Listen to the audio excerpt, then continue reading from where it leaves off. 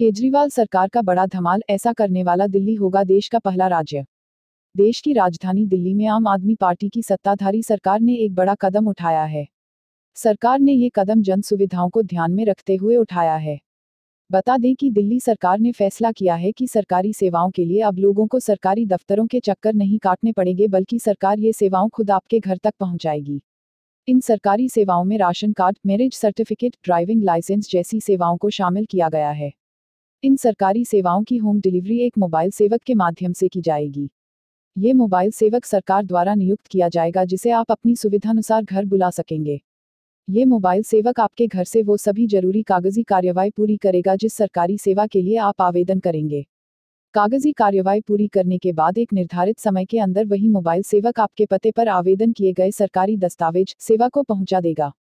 ये स्कीम दिल्ली में 10 सितंबर से लागू हो रही है। शुरुआती दौर में पहले महीने के लिए इसमें 40 सरकारी सेवाओं को शामिल किया गया है। इसके बाद अक्टूबर में इसमें 40 और से वाओं को जोड़ा जाएगा। अक्टूबर के बाद हर महीने तीस ऋण, तीस सेवाओं को इसमें शामिल किया जाएगा। दिल्ली सरकार द्वारा लाई जा रही यह योजना देश की पहली ऐसी योजना होगी। ऐसा पहली बार होगा जब कोई राज्य अपनी सेवाओं की होम डिलीवरी करेगा।